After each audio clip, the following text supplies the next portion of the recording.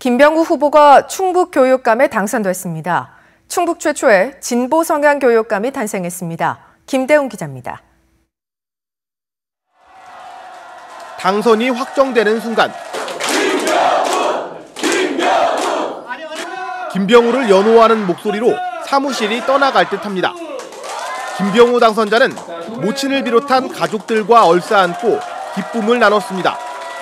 국내 최초로 전교조 지부장 출신의 진보 교육감이 탄생하는 순간입니다.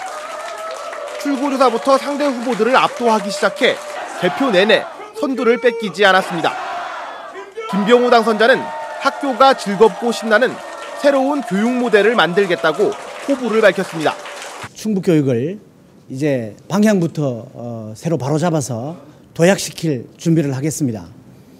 오늘의 배움이 즐거워서 내일이 기다려지는 그 행복교육으로 어, 대한민국의 새로운 교육 중심이 되도록 이끌겠습니다.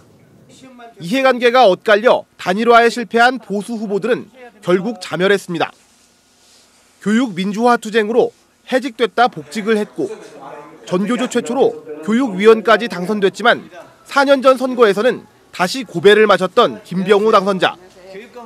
진보와 보수를 아우르는 대통합 교육감이 되겠다고 밝힌 만큼 보수 일색의 충북 교육을 어떻게 바꿀지 주목됩니다. MBC 뉴스 김대웅입니다.